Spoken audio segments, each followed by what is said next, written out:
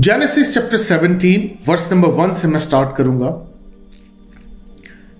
थोड़ा सा तेज पढ़ूँगा और कोशिश करूँगा कि मैं आपको इसका ट्रांसलेशन भी दे दूँ। लिखा हुआ है एंड वेन अब्राम ये भी नाम नहीं बदला when Abram was 99 years old and nine 99 years old and nine, the lord appeared to abram and said unto him I am the Almighty God, walk before me and be thou perfect. And I will make my covenant between me and thee. मतलब मेरे रब रब के बीच में और इब्राहिम के बीच में and will multiply the exceedingly मतलब फैला दूंगा तुम्हारी नस्लों को and Abraham fell on his face and God talk with him saying As for me, behold, my covenant is with thee, and thou shalt be a father of many nations. तुम बहुत सी nations के बाप बनोगे Neither shall thy name any more be called Abraham. अब तुम्हारा नाम Abram नहीं होगा For a father of many nations have I made thee. क्योंकि मैं तुम्हें बना दिया है and I will make thee sing exceeding fruitful फल पैदा करने वाली कौम and I will make nations of thee and kings shall come out of thee and I will establish my covenant between me and thee and thy seed ये है point ये Thai seat कौन था? जब खुदा ये बात करा तो इस हाक पैदा थे कि नहीं पैदा थे? कोई क्रिश्चियन या जू आके मुझे बताए। I will make a my covenant between me and thee and thy seed after thee in their generation for an everlasting covenant सारी उम्र के लिए। To be a God unto thee and to thy seed after thee. बच्चे हो तुम्हारे इस्माइल के भी बच्चों के साथ thy seed इस्माइल के बच्चे फिर आगे अलैहि सलाम and the land सुन लीजिए गौर से and to thy seed after thee at the land where thou art a stranger all the land of Canaan Palestine for an everlasting possession सारी पोजीशन मलकियत किन की? इस्माइल के बच्चों की होगी कहाँ? फलस्तीन केनान के अंदर। And I will be their God ये नज़र आइए कभी वर्ष आगे चले। अब कोई कहे नहीं जी नहीं इसमें तो इस्माइल का ज़िक्र नहीं है चले। And God said unto Abraham, Thou shalt keep my covenant, therefore, thou and thy seed. ये वही इस्माइल अलैहिस्सलाम क्योंकि thy seed सिर्फ़ इस्माइल थे इसाक थे ही नहीं पैदा। And after thee in their generations this is my covenant which ye shall keep between me and you and thy seed after thee. Every man, child amongst you shall be circumcised. ये बात context में है। तुम्हारा हर बच्चा जो तुम्हारे man जो तुम्हें फॉलो करते हैं, वो अपने खतने करेंगे। And ye shall circumcise the flesh of your foreskin और तुम भी सरकमसाइज होगे, Ibrahim. And it shall be a token of covenant betwixt me and you ये तुम्हारे मेरे बीच का एक कोवनेंट होगा। इब्राहिम, सुन्नत इब्राहिमी जिसे आज हम कहते हैं। And the eight days old shall be circumcised आठ दिन बाद तुम होगे। And that he is born of the house bought money of any stranger which is not of thy seed आगे चले।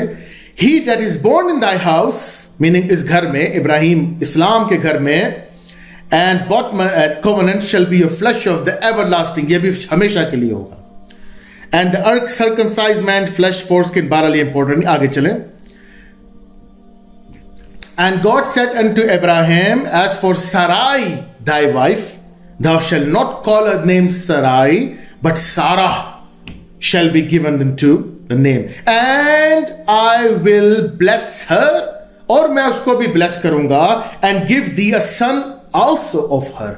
और मैं उनको भी बेटा दूँगा इस्माइल के अलावा तो ये किसकी बात हो रही थी कि जो पीछे सारा कॉन्टेक्स्ट था वो इस्माइल इस्लाम की बात हो रही थी कैनान इस्माइल इस्लाम को दिया गया है, उनके बच्चों को। इसाक इस्लाम की तो बात हुई नहीं, वो तो अब शुरू हुई है कॉन्टेक्स्ट में कि मैं उनको भी बच्चा दूँगा। मतलब पिछला बच्चा इस्माइल सलाम थे।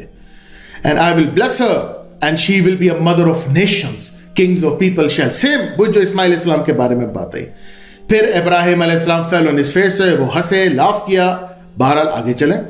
And Ibrahim said Ismail life live before thee सुने? शल उन्होंने कहा मैं कैसे बच्चा पैदा करूँगी? मैं तो 90 इयर्स की हो गई हूँ। तो उन्होंने फरमाया Ibrahim said to God O that Ismail might live before thee And God said, Sarah, thy wife shall be thee a son indeed, and thou shalt call his name Isaac, Ishaq. मतलब पीछे सब इस्माइल इस्लाम की बात हो रही थी इसहाक इस्लाम तो अब पैदा हो रहे हैं। सुनिए।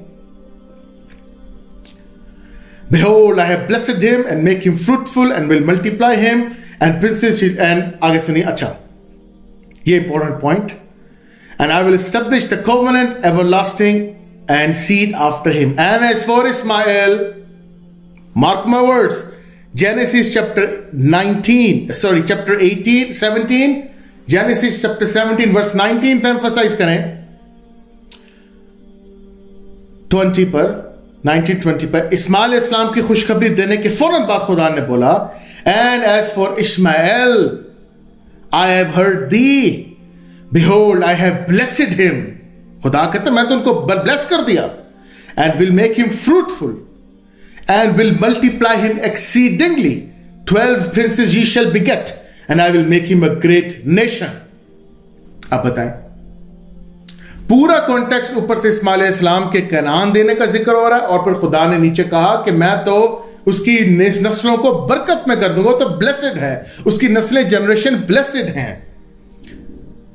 और फिर आगे चलता रहा, चलता, फिर सरकमसीजन की बात हुई दोनों बेटों में, किनको सरकमसाइज को और जेनेसिस 18 के अंदर इस, इसहाक इस्लाम का पस मंजर है। लेकिन थोड़ी एक चैप्टर बाद लिखा जा रहा है कि इस्माइल के बच्चे तो बारबेरिक है। क्यों?